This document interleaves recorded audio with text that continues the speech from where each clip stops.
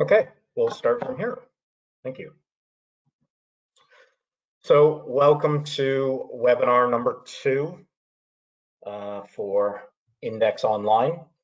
We will be doing this weekly as a, a tool to help people uh, during these times right now. Obviously, a lot of people are stuck at home or perhaps underutilized in their work, not of any fault of their own. So we want to uh, share our knowledge and hopefully uh, we can be of assistance to any corporation, company, uh, or even individuals in the future. So today's lesson webinar is on about gas groups, specifically hydrogen. So to be or not to be, a play on words of Shakespeare, but can 2B plus H2 equipment be used in a 2C hazardous area classification? Now, this is not straightforward, so the this is the reason for this presentation. There is confusion within the industry, uh, uncertainty, and we hope to address that. So this is an example, if you look at where it says zone two apparatus group under the legend, it indicates this area is a 2C gas group. 2C can mean hydrogen or acetylene. Now, immediately looking at this enclosure, there's certain things about it that would indicate to me that that piece of equipment is not rated 2C. Now, I were to ask you a question, pull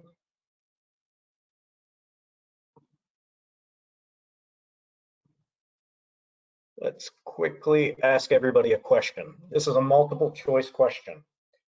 Can you please give your input onto which gas groups you believe include hydrogen? Which gas groups of the following include hydrogen?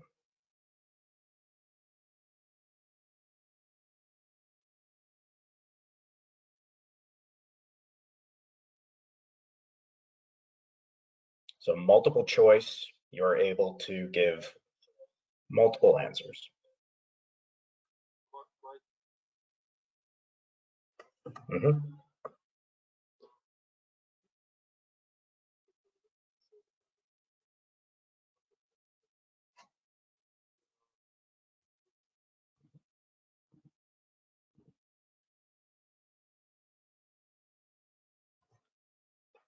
That correct?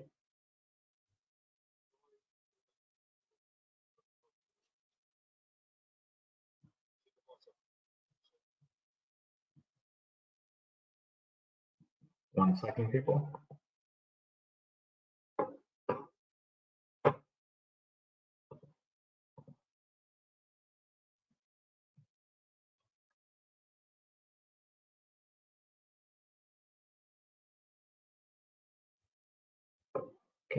Can everybody see the screen correctly?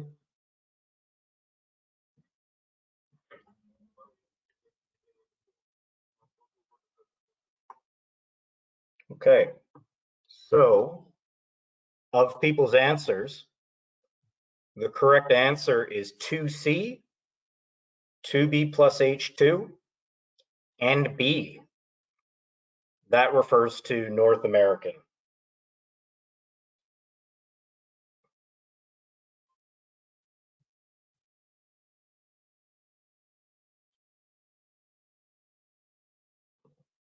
Next.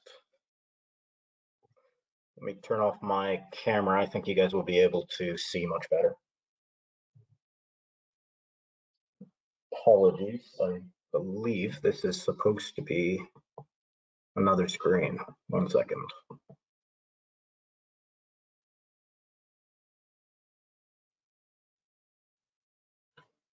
Okay, so when we go into further detail and look at this device, things that we notice are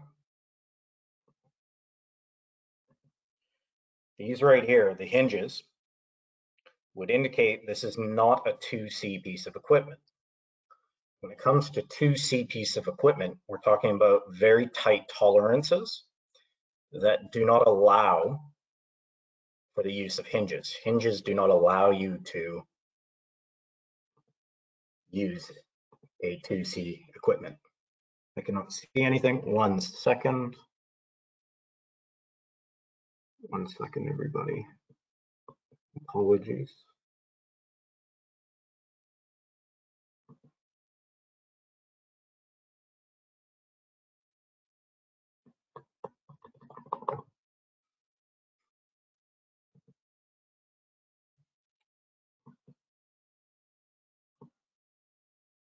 Now is okay?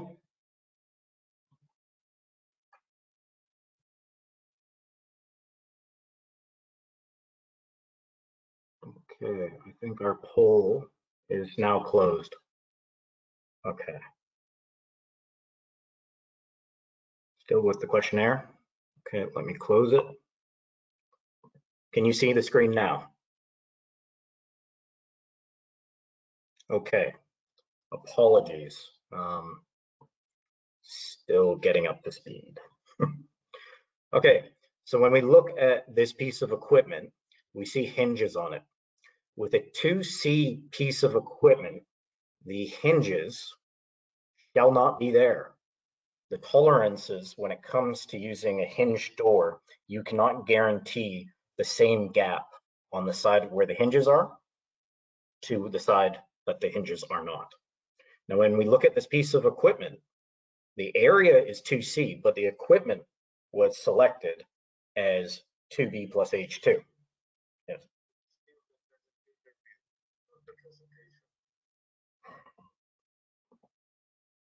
Is this a is this a better view? This better view for you guys? Uh, we'll have to go with it. We'll have to go with it. Sorry about the presentator view, guys. It's not going with how we want. Okay, so this installation, they chose a 2B plus H2. Now there's issues with that where this will cause confusion between engineers and inspectors. Inspectors will perhaps say that this is not rated for a 2C area because during their training, they may not have been told about 2BH2 being acceptable in a 2C area if the 2C area is only for hydrogen. So one solution that some companies go with is where in the legend or in the notes, they mention 2C, but bracket 2B plus H2. I do not agree with this. This will also cause confusion why? Well, if that area is only assessed for hydrogen, why would it be 2C? What about acetylene? Can acetylene be present? We don't know. It could be, you would have to look within the datasheet for the sources of release. So this can cause confusion. Here's the point that I was mentioning for 2C gas groups for EXD with flange type, there's restrictions on it. They're only permitted with a very tight gap tolerance of point not point not four millimeters, 0.04 millimeters. That is why you will not have a hinged type flange EXD 2C. It's too tight of a tolerance to guarantee with a hinge. We're talking very finite, finite measurements. So personal competency for the technician and engineer. Have they been trained in the use or the creation of a HAC?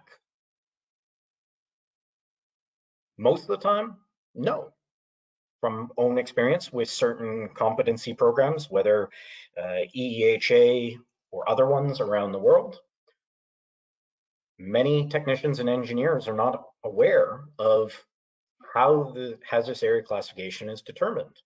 There's environmental conditions, release data, calculations of release, ventilation characteristics, characteristics, evaluation of the effect of the ventilation, effects of release, determination of minimum requirements for applicable equipment. Also, dispersion, dispersion patterns.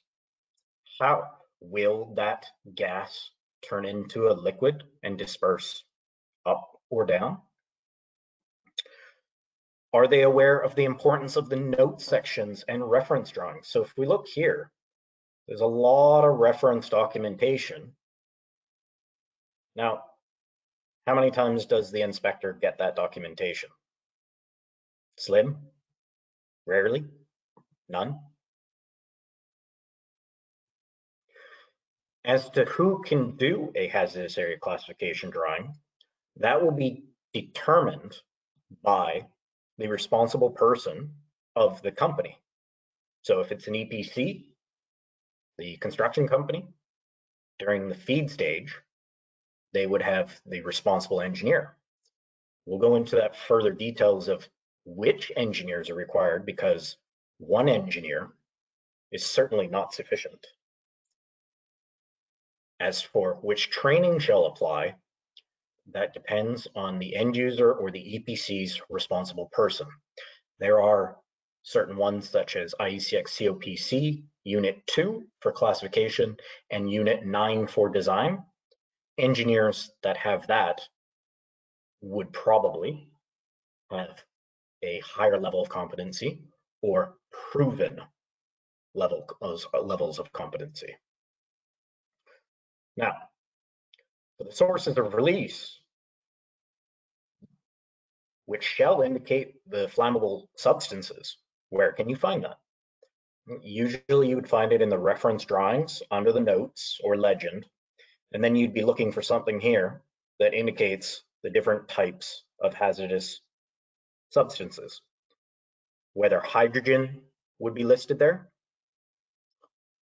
or not, or acetylene would identify if that 2C area is only hydrogen or hydrogen and acetylene. These questions that I've been uh, answering, by the way, have been coming from students. Okay, why the confusion? Let's go back in history. Classes and divisions method, the North American way, which has been used around the world, even in Saudi Arabia and other locations, has hydrogen as a group B gas. So its distinct characteristics differ from group A acetylene. This started in 1920s and 1931s for division and then classes. So acetylene is just group A. It's clearly identified under API 500 North American way. Group A, acetylene, done. Group B, that's when it starts talking about the maximum experimental safe gap and the minimum ignition current ratio.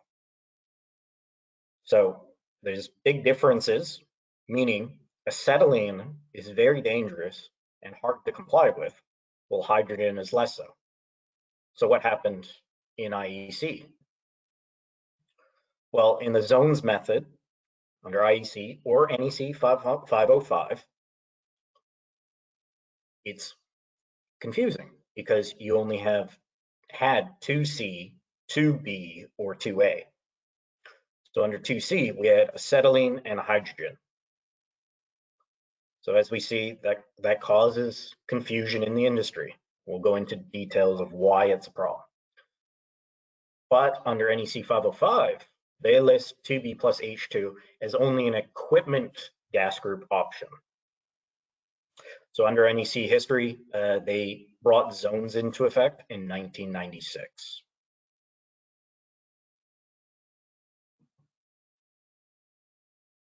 Apologies. Now, under IEC EN 60079, 2B plus H2 is also an equipment group option. Now, The importance is the plus symbol is used to indicate the particular gas that the equipment is certified for use in a hazardous area where that gas or vapor may be present. So if there is only hydrogen and not acetylene present in that area, that indicates that you only need to test to 2B, do inspections to 2B, and the equipment for H2, 2BH2 means it can go into an area that is defined as 2C hydrogen only or 2B plus H2 hazardous area. Now, based off the last slide, we'll put out this poll. What are the advantages of the class and division system? Now, there's multiple answers to this. What is the advantages of the class and division system for identifying hydrogen?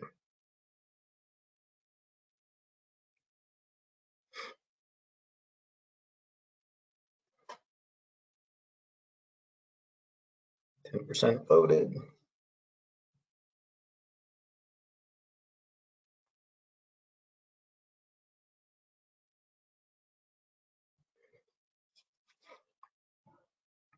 Thirty percent. We'll wait till we get up to about the seventy percent range, and then I'll close the poll.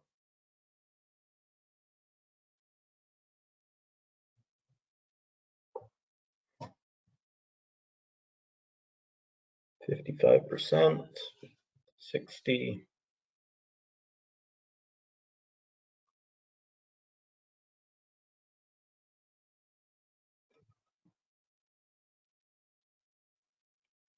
Give another ten seconds.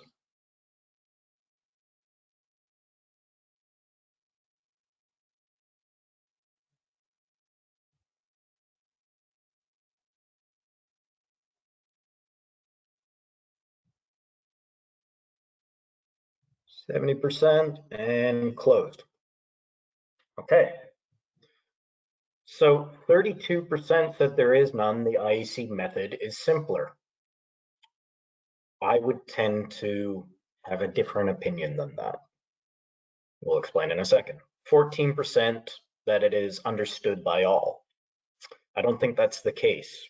People that have not worked with North American standards or um, 500 or 505, they perhaps may not know this. The 75% of people said that the individualized gas groups is simpler and cheaper for manufacturers, for installers, for in designers, for maintainers, because there's less confusion. A is only acetylene, done. B is hydrogen and others. So that separation makes it easier for people to understand. Now, where I say sequential order, in training programs that we have put on under different schemes, IECEx, uh, Compex, others, there is confusion in the industry in many countries when it comes to gas groups and temperature classes. Because T1 is the hottest, the most dangerous piece of equipment and most strict restriction for a area that there is. So you would figure one would go with A, two B. So when you think of a gas group 2A, that's actually a area that has a gas group that is not the most dangerous. But in the North American way, A is acetylene. It is the most dangerous. So by it being backwards from each other in the IEC between T ratings, temperature classes, and gas groups, that does cause confusion.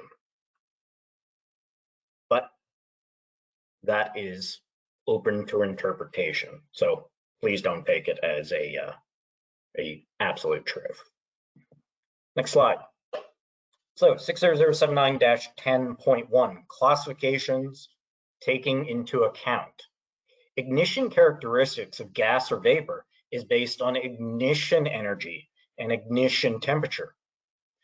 This recent revision from 2015 has removed the words gas groups and temperature classes because there was confusion, thoughts that 2B plus H2 was not a gas group for an area. But that is changing. This is indication of that. The consideration is the ignition energy and ignition temperature, which you would find in the sources of release datasheet in the notes should be, not all engineers put it there, should be, which you reference when you're referencing your hazardous area classification.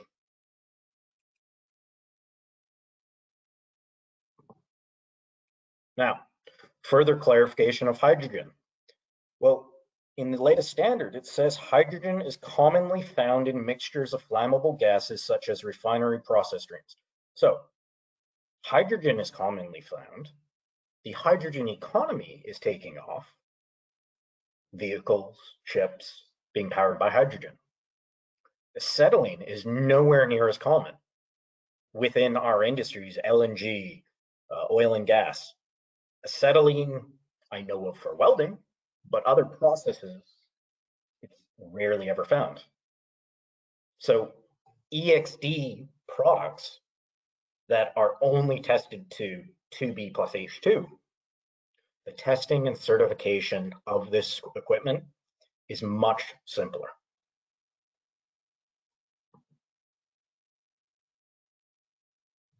Next slide. Oh, also under 6079 one for EXD, double marking can be applied for a specific gas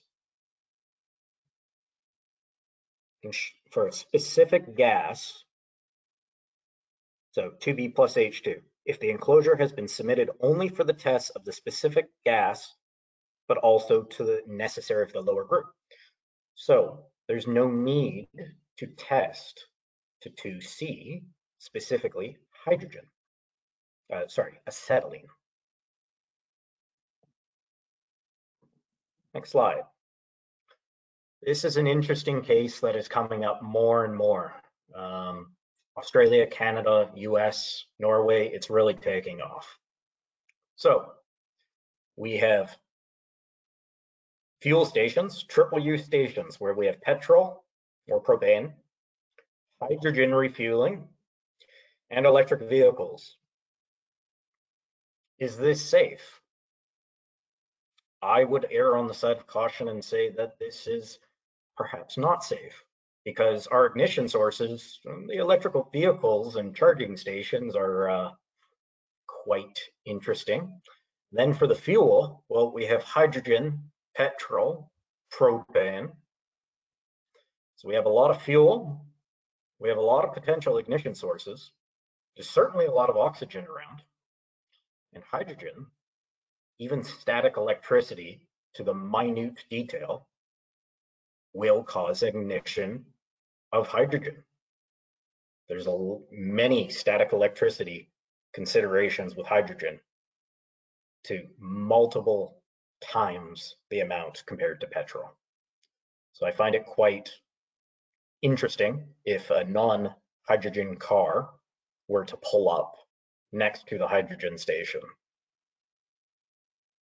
Does it have the adequate protections? Now, how was this facility classified and designed and which equipment was selected? From my understanding, the regulations are not in place for these type of installations, nowhere near to the level of LNG, oil and gas, offshore, onshore plants. Why? Because there haven't been as many explosions of these fueling stations or of purely hydrogen uh, refineries and fueling stations. They exist. I will send you links uh, in our follow-up email to show you explosions of hydrogen fuel stations. Now, if this was defined a 2C area with 2C equipment, the manufacturer is looking at an expensive and difficult to build item restricted to less than five liters if it's a flat uh, 0.5 liters for a EXD type, flange, uh, flange type uh, enclosure. For the installers, once again, it's more expensive. 2C equipment costs a lot more. You have to be a lot more careful. There's a lot more difficult tolerances. Now the end user, obviously it's expensive. If there's no acetylene here, why are we using 2C equipment? Confusion for engineers and technicians when 2B plus H2 equipment has been used. We experience this on nearly every project we run across. Some of you may absolutely know the answer to this already, but is everybody aware of this? Certainly not. It's a continuous source of uh, discussion. Now, if this was a 2B area, would this be fit for purpose? No, and 2B equipment would not be fit for this installation. Now, if it was a 2C area with specific mention of 2B plus H2, would it be acceptable?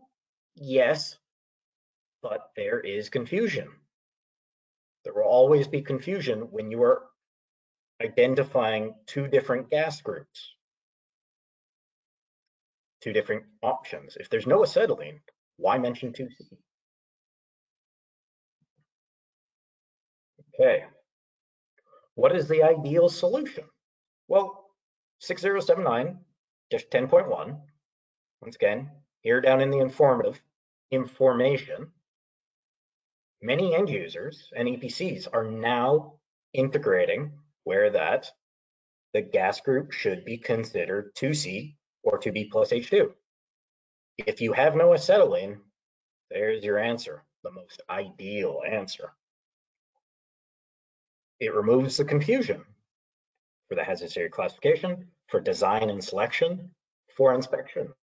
Your technicians will no longer be confused. It's a 2B plus H2 area, and they either have 2B plus H2 equipment or 2C. 2C even better. Manufacturers, the reduced costs are the big one. They can have bigger enclosures. It's easier to manufacture testing and certification is much easier.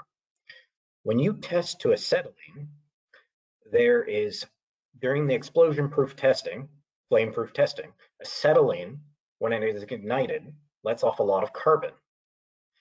It lets off a lot of carbon, which embeds itself into a flame path, and then there's a whole other load of issues.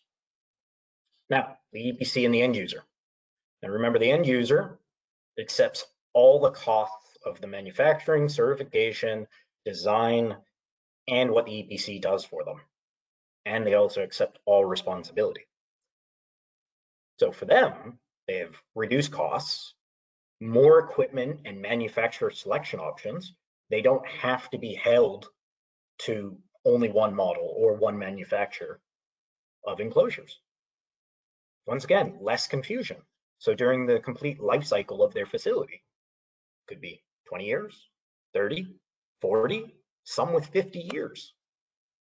So as people roll through the plant, you, you will not always have employees for the entire life cycle of your plant. So you can reduce the confusion, reduce money, reduce time, increase quality. Less confusion, always a good thing. Now we're going to open up another poll for you guys. What is the most ideal? So which would be the best solution to classify an area that has hydrogen and ethylene?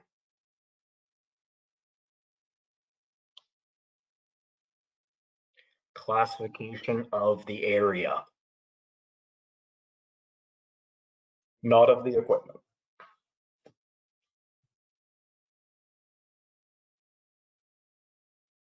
33% voted, so let's get that up to 70%.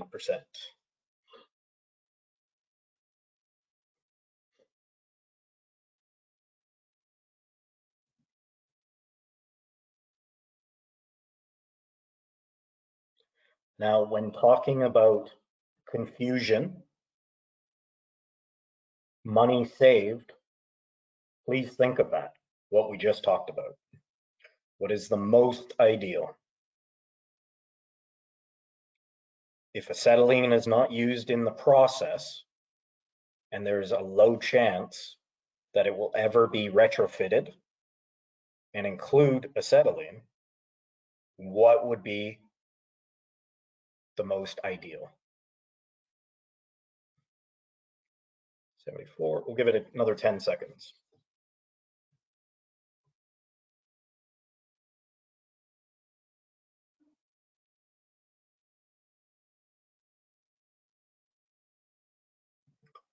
Okay, so some people listed 2B. That's not the solution that you would look for. H2 is always going to be a 2C gas or 2B plus H2. So the answer of 2A plus H2, that's, we have 6% for those two answers. So those are not the uh, solution you would want to uh, look for. 34% said 2C, Well, 53% said 2B plus H2. I understand the contentiousness of this, but if you are working just in engineering or working in just as an inspector, perhaps not, perhaps you would not have the feedback from others in other departments. So do you speak to the manufacturer? Do you speak to the testing and certification body? Do you speak to hazardous area classification engineers? Do you speak to the, the designers and procurement people?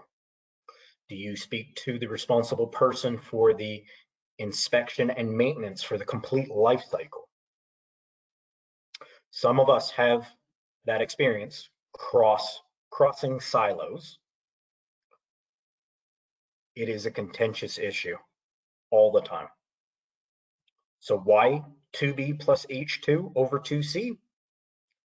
If acetylene has not been identified in the hazardous area classification, it's not needed as 2C. You have the cheaper, simpler, more efficient option. The commercial approach is most ideal for everybody from the manufacturer to the hazardous area classification engineer to the designer to procurement to maintenance and inspections of the complete life cycle of the facility. 2B plus H2 identified on the hazardous area classification drawing and that type of equipment is most ideal. Yes, you can identify it as 2C, but at the very beginning, we showed you an example that was in Europe. And I have many other examples that would show that this happens continuously, wasted time, money, and talking about the issue endlessly. So at the end, you guys will be able to ask detailed questions, okay? So classification solutions made easy. We now have an online hazardous area classification tool. What it allows us to do, which we've attached a document for you guys to download. Uh, you should be able to see it under handouts. Under handouts, we give our website and give you an example of what documents are required for hazardous area classification. So while you may not use the services, it is a source of information to understand what documentation you require or that the hazardous classification engineer required in the past to come up with his classification. So another poll question.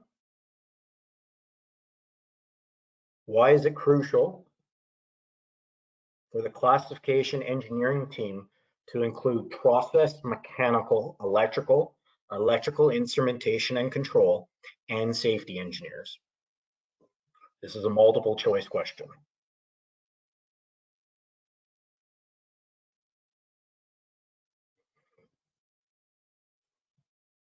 Multiple choice.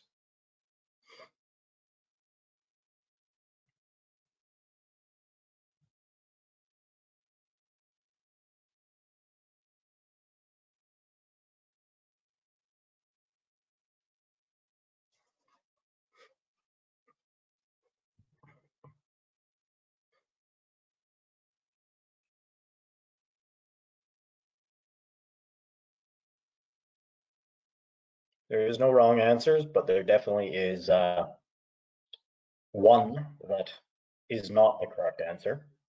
Well, all the other ones, perhaps consider.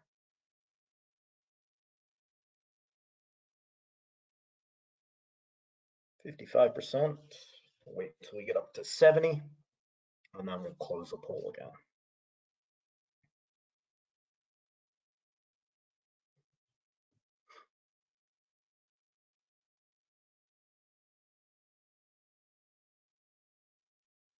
Give another ten seconds.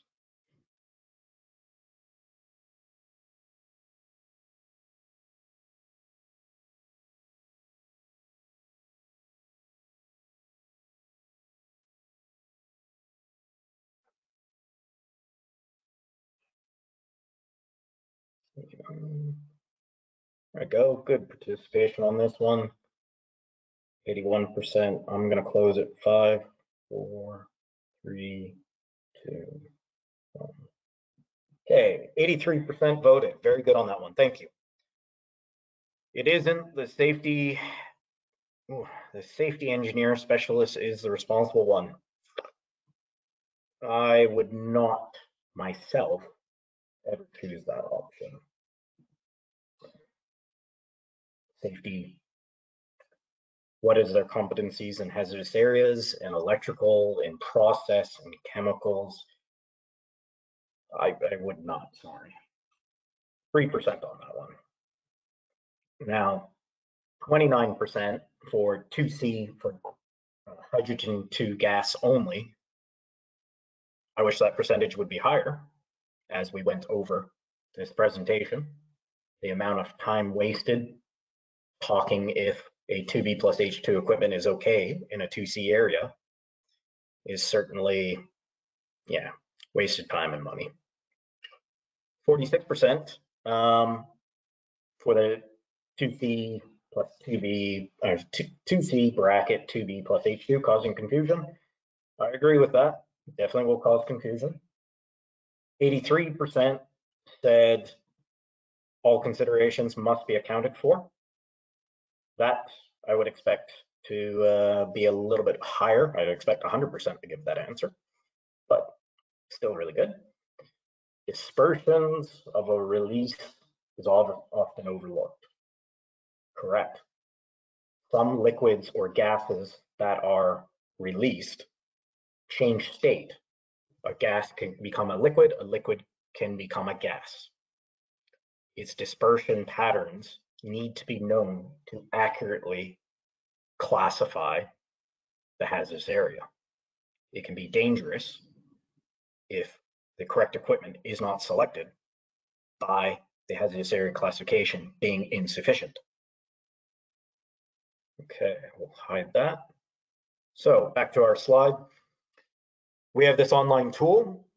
We're giving awareness to you guys, bit of free awareness to go over all the topics we've gone over, give you an identification of the different standards that may apply all around the world. Within Australia, they apply AS/NZS 60079-10, but also on plants, they also do apply API RP 505 classifications. But each end user has their own input. Local regulations also apply. So it is case by case basis. So we want to thank you for your time. Uh, we see that I see that it's gone 40 minutes. So right now we'll open up to any questions if anybody would like to have any questions for the next uh, 10 minutes, we are open and available. So please indicate in the chat uh, if you have any questions.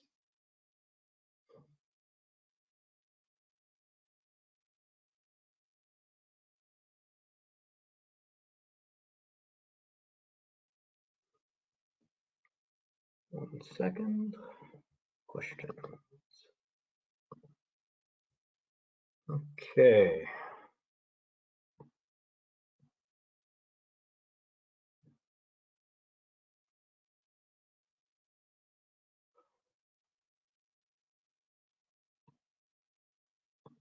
Now we have one question. What is the different cost difference to accredit 2C equipment versus 2B plus H2? That percentage can be variable. It can be anywhere from 10% difference to hundreds of percent. It really depends on the piece of equipment. But the testing time and price is definitely less, and it is very good for control panels. Control panels, like you saw with that big door, that swinging door with hinges, control panels is definitely the one where 2B plus H2 is much more ideal than 2C,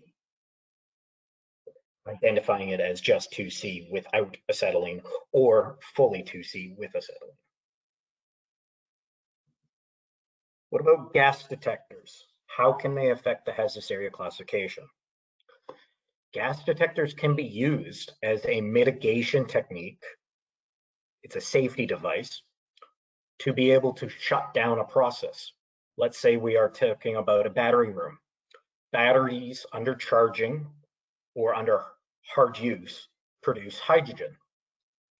If they were to get up to a 1% lower explosive limit, it can be built into the logic to shut down the charging of the batteries and to increase in ventilation. So they could define the battery room as a zone two negligent, negligent, uh, negligible amount. So equipment would not have to be zone two, or it could be classified as non-hazardous. That is an option, but it requires a lot more programming, logic, correct equipment with SIL, safety integrity ratings. Since 2C enclosures might be size big and heavy, how can we use hinges for covers? Well, you can't for these big, these absolutely big enclosures because the acetylene with flange pipe can only be up to 0.5 liters big. So that's as big as it can go. So if you're talking a big enclosure, all you can do is 2B plus H2, or if you have a thread, there are some analyzers that instead of having flange type, they have threaded type. So a threaded cover, and then it is rated for 2C. But if you want a big open door for easy accessibility, it can't be done for anything that's bigger than 0.5 liters, which is quite small.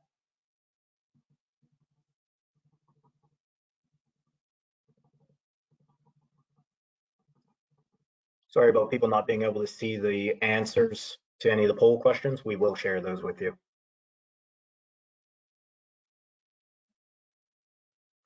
Also, we should say that for the gas detectors, it is not a standalone solution. I think, as I said, there are other considerations that have to be included. Shutdown of non-EX equipment, ventilation has to be guaranteed. Anything that is on UPS shall have to be EX because the power would still be on. There are shutdown and alarm features that must happen. So it is quite a lot to it. So when we talk about anything on UPS, you're talking about the battery transfer switch, you're talking about the phones, you're talking about the fire and gas devices, any of the SIS devices would probably also stay online, also the ventilation fan. But EXE is always a 2C gas group. Primarily what we are talking about right now is EXD equipment. The very first type of EX protection technique to existed was EXD, explosion proof. How does it have any difference, for example, for EXE for 2C and 2B plus H2? I think we answered uh, answered that. EXE is always 2C. Do you have a table which shows in which plants there is acetylene? We could find that and perhaps show an example, but um, acetylene in a process is, uh, there's a few instances, but it's not as prevalent, nowhere near as prevalent. Can they make a non-classified zone one, two, one or two? Okay, so I think what he's asking about is, can you make a zoned area a non-hazardous area? Yes, that is the point of a pressurized enclosure or a ventilated or a pressurized or ventilated building, such as a turbine enclosure, let's say GE, Baker Hughes. A lot of times they will say internally that it is not a zone two because they have it built in with ventilation and purging, but also have the shutdown logic and gas detectors and all these different safety systems controlling it where if there was a gas release, there is immediate shutdown. So they do a risk assessment to ensure that nothing possible could happen. Now, next question is, one of the next topic could be selecting cable glands for direct or indirect entries into EXD. Uh, cables, how they're gas tight, transmission along them, Okay, I think that's a response to uh, after the presentation, you will receive questions on what your thoughts are on this presentation and also on potential next topics for next week. So please uh, share that information there. Looking to see if there's any more questions. 948, 949. Does anybody have any more questions or any comments?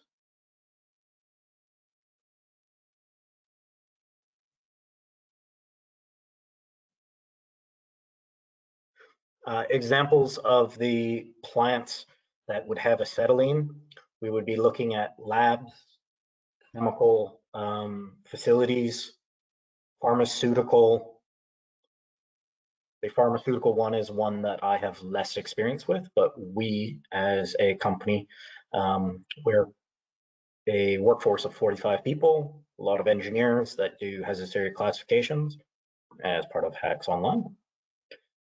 And we can show examples of these, but in oil and gas, LNG, it's less so. Somebody's asking, what about olefin plants? I am not sure what an olefin is, what type of process that is. So I will look that up and respond to everybody in an email, hopefully, in our follow-up email, hopefully at the end of today.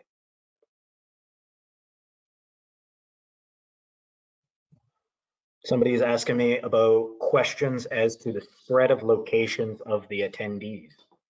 Yeah, there are people from, I see Italy, Tunisia, Australia, UK, Hungary, South Korea, Malaysia, Brazil, America, Canada. So it's looking really good.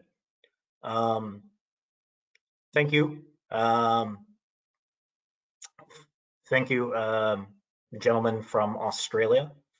Um, myself, Michael Merrington, and ARPAD appreciate your um, good word.